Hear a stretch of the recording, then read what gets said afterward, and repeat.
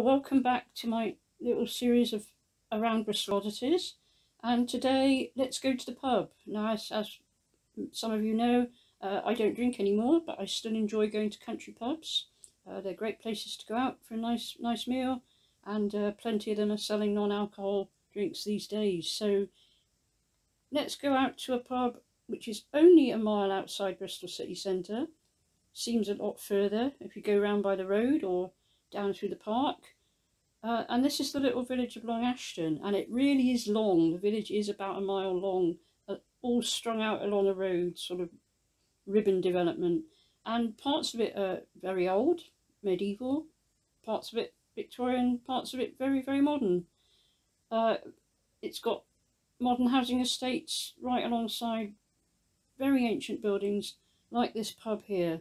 So this is the Angel at Long Ashton the Angel Inn.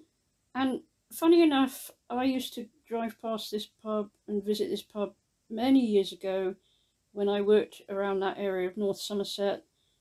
And always used to, we always used to call it the Blue Angel, and that's because its inn signs have always been predominantly blue. so obviously when you're driving, you kind of catch a glimpse of it and you just kind of think of it as the Blue Angel. So this is the outside uh, shot. Um, very pretty little pub. They've just had their decorations up for the Jubilee. And here it is on the OS map of 1901. Uh, just a little excerpt of the map here showing the inn. Uh, but this inn, inn building goes back centuries. You know, it, it was probably once a farmhouse.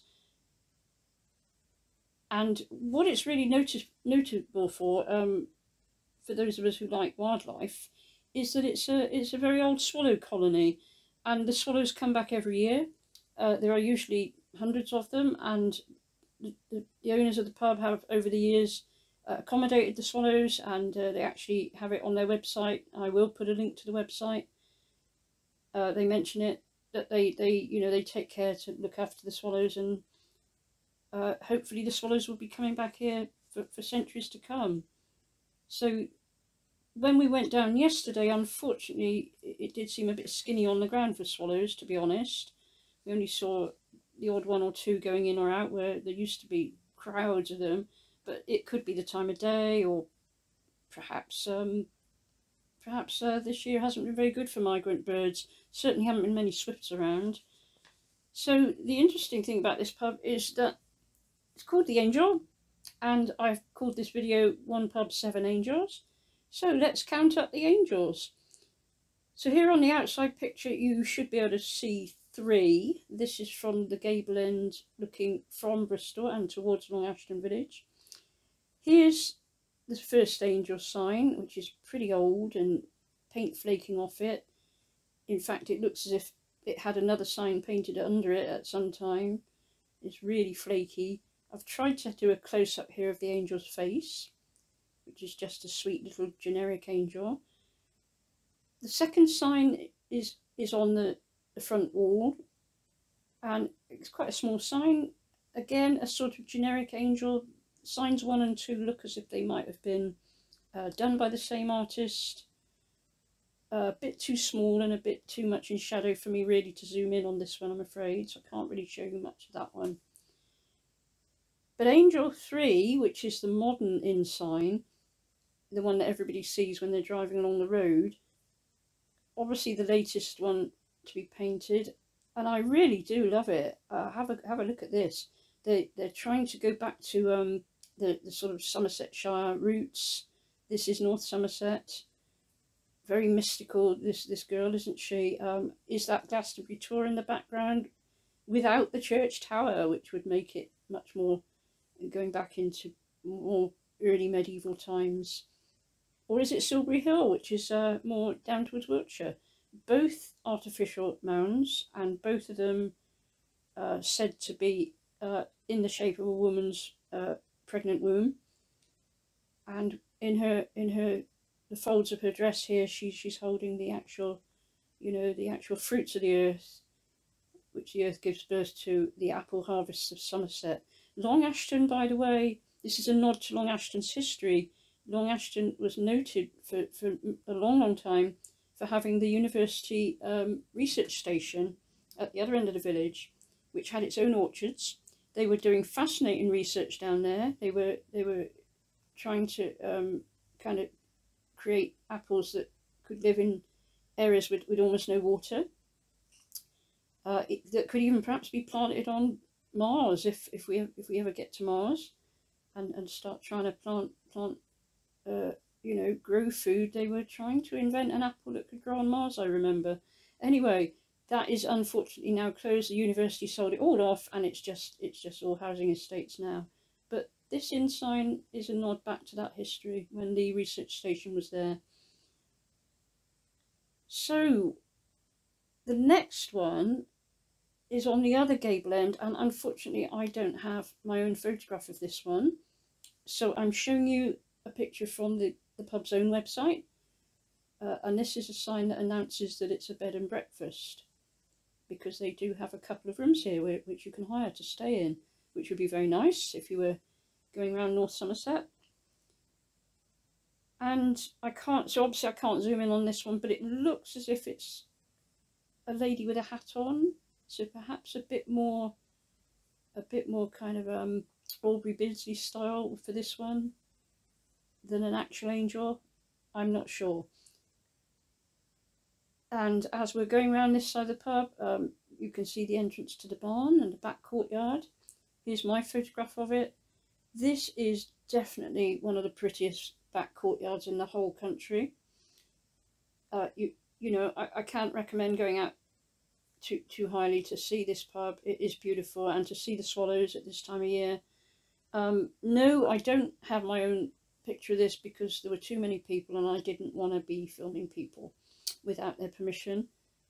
So just going to show you a quick picture of where the swallows go in and out when you're sitting there. So this is just up over our heads. There's a nice bit of roses, climbing roses here. And you can see where those rafters are. They go in and out of there and they can be swooping over your head while you're eating and drinking.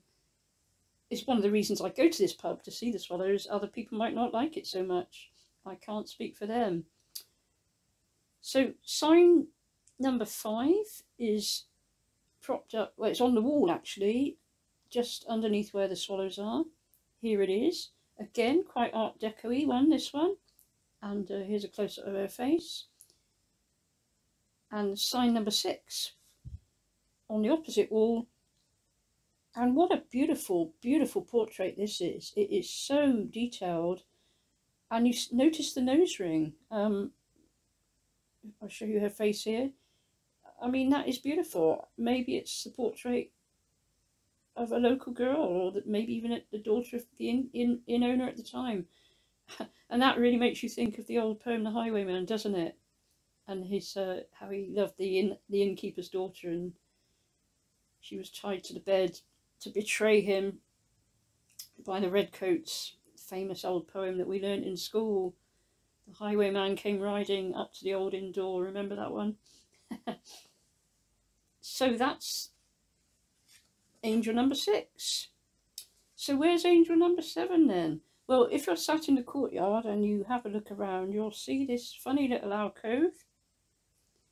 Uh, it's not very high, and it's got these. Uh, it's got a, a bit of railing in front of it, the little metal sign above it here was just too is just too faint for me to photograph, but it basically gives you the same information that is on the pub's website, how, how the pub was used as a, an occasional court. And this was actually a little lockup where they would have um, put in, you know, the, the local miscreants, maybe a poacher or a drunk or something, to um, where he would have spent quite an uncomfortable night while he sobered up before he was taken in front of the beak in the morning. So that's uh, that's quite funny. And when you have a closer look at this alcove, there's angel number seven.